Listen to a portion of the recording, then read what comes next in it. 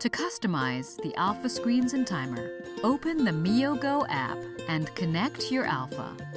Tap Customize Workout Screens to select the screens you want to see during your workout.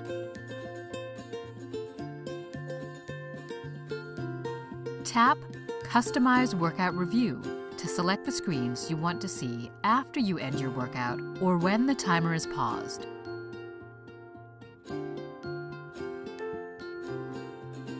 Tap Workout Timers to customize the timer. You can select the chronograph, countdown, or repeat timer.